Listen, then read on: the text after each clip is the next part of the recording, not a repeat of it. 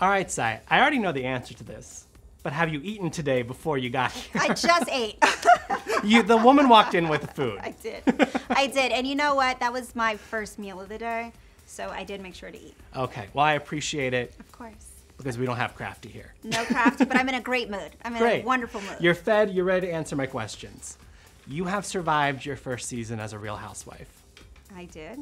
What has been the takeaway for you so far? Whew. I mean, it was very interesting. It was definitely an interesting experience. In New York, there's a lot of bad apples, but I'm the baddest of the bunch. I think my biggest takeaway is to um, just have no one tell me any secrets anymore. I just don't want to know. I really don't. I just just keep your secrets to yourself. I don't want to be a vessel for your secrets. Don't tell me. There's your season 15 tagline. Yes, exactly. What has surprised you in watching it back? Because it's one thing to live it and film it, it's another thing to then experience it as a viewer. Right. I think experience looking at myself act in a way that I don't normally act, as in I was very much so myself, but seeing myself hangry and seeing myself hangry played out over and over and over again, I think got a little it honestly was a little annoying to me. Do you have food? What do you gotta eat?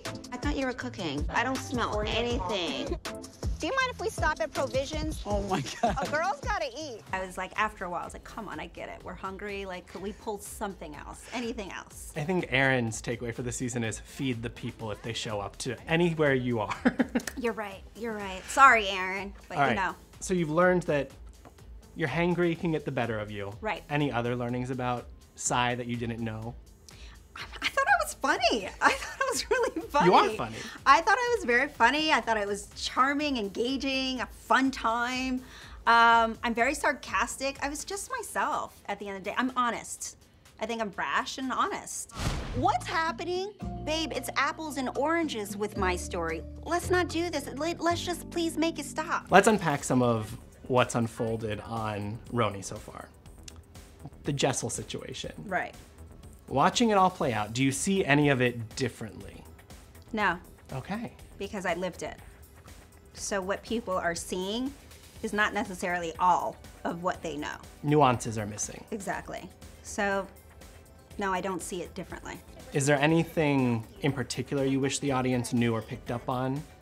Um, there's a lot of things that weren't said that will probably never be Okay. said, not by me.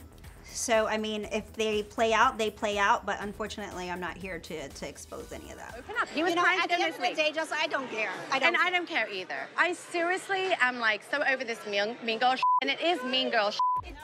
She labels you and Erin mean girls mm-hmm. because of all this. How do you feel about that label? I'm definitely not a mean girl. I think that there should not be any confusion to being honest slash mean. I think when people hear honesty, it really does hurt their feelings at the end of the day, and it could come off in a way where I am being mean, but I'm definitely not a mean girl. Not not one bit. I'm just a very honest person. I'm a girl's girl. She knows that at the end of the day, so And you've said that since cameras went down, this relationship has evolved beyond what we've seen on the show. You're in a different place now than you were winter. right. Okay. Uh, yeah, we've definitely hung out. We go out. Um, we all go out as a group, actually. We're all good friends. You know, I think some of us are closer than um, than others. I think the audience also needs to realize we all just met each other. I was gonna say, what? Who Let's did be- you have? like- let's be Right. honest. When someone rubs me the wrong way, I start making a checklist. If you rub me the wrong way once, it's mental. Twice, it's on my phone. The lists. Have you gotten eyes on the lists? Have you read the lists? Do you? Does she have a list on you? I she might have a list. I think she might have a list on Everybody? everyone. I mean, let's think about it for a second. If someone is writing a list only on you get caught for one particular person, what makes you think that they didn't write a list about everyone? And you know what? Her whole spiel for the whole season is that she's in PR and she has to be prepared at all times. She definitely makes sure she's prepared. She does. Maybe to a fault. To a fault. On the Brynn front, we are leading up to this finale with the "it wasn't on effing camera" moment. And she didn't tell me, so I told her. That is f***ed up. She said on camera.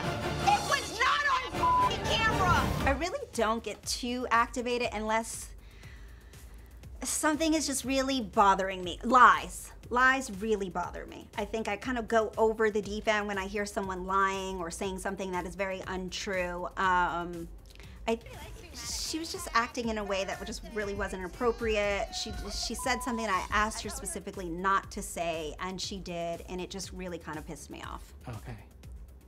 And it was not on camera, And it whatever was she not reported. on camera. It was just a very small detail that you will all see, but Okay. Has she earned the friend title back? Because I know you revoked it a little bit in the beginning of the season. we're cool. Okay. I mean, we're not best friends. We're cool. We're all just cool. You did your first reunion. Yes, it felt like a big therapy session, um, a therapy session I've never wanted before. What do you think is going to surprise viewers about that day? um, I was very vulnerable. I was very, very vulnerable. Um, a lot of people were, some people were, not a lot, some were remorseful. Um, no one punched anyone in the face. That was nice. There we go. That was very sweet. Uh, it was, it was, there were some kumbaya moments, but I think, I think a lot of things came out. Okay. So we are in a place where everyone can move forward for season 15. Maybe. Do you want to come back? I do. I would love to come back. I, and you'll come back. I had a good time. What would you do differently the second time around? Smile more when I'm saying honest things. Just the the message is the same, delivery a little the different. The delivery will be a little bit different this time. I look, I'm very much so me. I am a New Yorker. I'm a bit brash, but I'm always honest. I'm a girl's girl through and through. Um, but I will always be myself. Just uh, the delivery will be just just a little bit better. Wifey, Yeah? where are you? In the bathroom. Can I come in? Isn't this your house? Well, I don't know what you're doing. When your name first floated around as being rumored to be a part of this, the conversation I saw a lot online was, well, she'll never do it. She doesn't even show her husband online. So what was that conversation with like get him on board to do it? Genuinely, at first, when I was first approached, I said no, absolutely not. It was for me more of a control thing because I'm just so used to editing and controlling my own narrative versus having someone else control my narrative, which is very hard for someone who is a content creator. This is what I do for a living. Um, and then after a while, I said, this is such a great opportunity to be part of this franchise and the first time they've ever done a reboot in this franchise, so it's history, and to represent New York City. Um, and then when I explained it to my husband in that way, he was automatically on board. You've maintained the David doesn't live on Instagram rule though. I do. So I do. So talk to me about deciding here's Sai the housewife, here's Sai the influencer, here's Sai the businesswoman. Right. Kind of making those decisions under that umbrella and what lives where. I feel like I'm very, I have definitely made sure to keep them separate. Yes, he is on the show, but you only see but so much. I think putting him on my social is not what he wants. I don't want it, he doesn't want it, so why am I, who am I doing it for? Exactly, right? Me being a content creator is very much so a business, and I run it as a business. So I keep those things separately. I have two jobs. RHONY, content creator. I pay everyone on payroll. I offer in health insurance. There are certain things that I don't think people realize. Like this is very much so a real job. How has RHONY changed Sai the content creator though? I don't think it's changed me. Okay. A lot of people were like, "Are you ready for this? Life is going to be so different." And I am just me. I'm true to myself. I'm very much so this same exact person. I don't think RHONY has changed my persona whatsoever. Maybe just opened some doors that were not open or you didn't even know existed. Oh my god, I've met so many haters. I have so many more haters now, so that's great. Hey, engagement is engagement. Engagement is engagement, so I've welcomed my haters on in, and I, you know what? I appreciate them. you just stay out of the comment section. I just like to stay out of the comment section. Okay. You have opened up a whole world of comments for yourself with a podcast. Yes. Best name. Harder than we thought.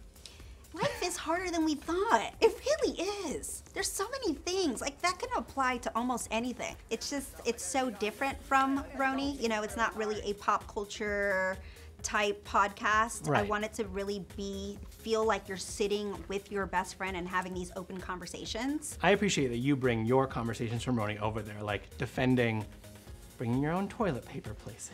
You know what? This is my platform. I have a place to speak about it. Why not? But you know what I did do, which I I wanted to open the conversation and say, Am I wrong?